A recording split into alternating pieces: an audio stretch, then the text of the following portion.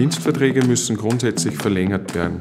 Bei Regelverträgen ist es jedoch möglich, dass du bereits nach einem Dienstjahr um ein unbefristetes Dienstverhältnis ansuchst. Sonderverträge gelten nur für ein Jahr und müssen dadurch immer verlängert werden. Nach fünf Dienstjahren kannst du jedoch auch hier schon um Vertragsverbesserung ansuchen.